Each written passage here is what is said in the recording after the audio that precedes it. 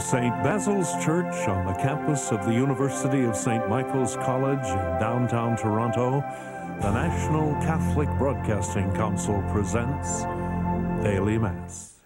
Our celebrant today is the Bishop of the Diocese of London, Ontario, the Most Reverend Ronald Fabbro. The tele- televising of today's Mass is made possible by a contribution from several donors. The first is a group of parishioners from St. Mary's Church in Lindsay, Ontario. The second are a couple from Calgary, Alberta, in thanksgiving for all the blessings they have received during their 40 years of marriage. They also ask for prayers for all family members living and deceased and for peace in the world. On behalf of all the faithful across Canada gathered for this celebration, we thank you. In the name of the Father, and of the Son, and of the Holy Spirit. Amen. Peace be with you. I would like to welcome you to this Eucharist at St. Basil's Church, especially those of you who are joining us from your homes, from hospitals, nursing homes, and infirmaries. Today we celebrate the feast of St. Robert Bellarmine, Bishop and Doctor of the Church, a great defender of the Catholic faith. As we begin this Eucharist, we thank God for the gift of our faith and ask that in this Eucharist it might be strengthened. Conscious of our own unworthiness, we ask the Lord for pardon and mercy. You were sent to heal the contrite. Lord, have mercy. Lord, have mercy. You came to call sinners. Christ, have mercy. Christ, have mercy. You plead for us at the right hand of the Father. Lord, have mercy. Lord, have mercy. May Almighty God have mercy on us, forgive us our sins, and bring us to everlasting life. Amen. Let us pray.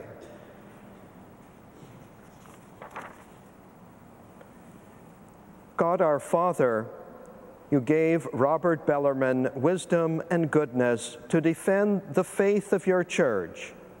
By his prayers, may we always rejoice in the profession of our faith.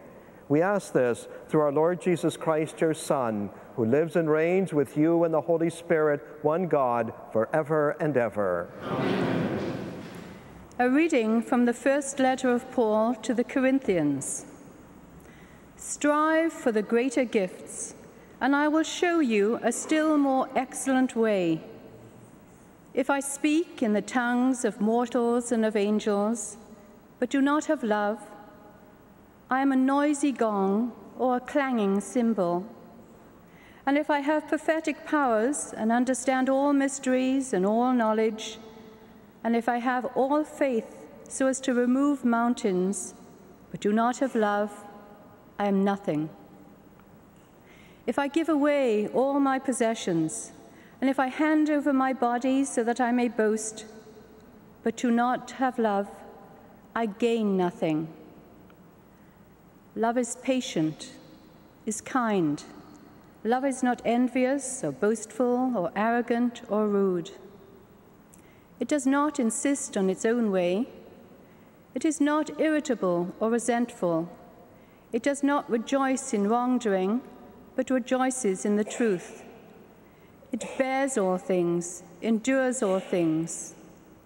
Love never ends. But as for prophecies, they will come to an end. As for tongues, they will cease. As for knowledge, it will come to an end. For we know only in part, and we prophesy only in part. But when the complete comes, the partial will come to an end. When I was a child, I spoke like a child. I thought like a child. I reasoned like a child. When I became an adult, I put an end to childish ways. For now we see in a mirror dimly, but then we will see face to face. Now I know only in part, then I will know fully, even as I have been fully known. And now, faith, hope, and love abide, these three, and the greatest of these is love. The word of the Lord.